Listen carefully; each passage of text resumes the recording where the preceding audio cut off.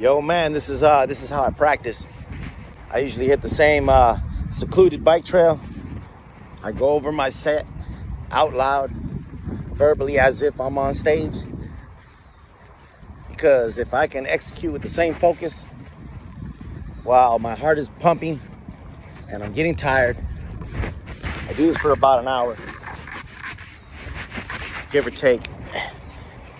And if I could execute it just as good while I'm tired and my heart is pumping, then being on stage when I'm not tired and my heart isn't pumping is a breeze.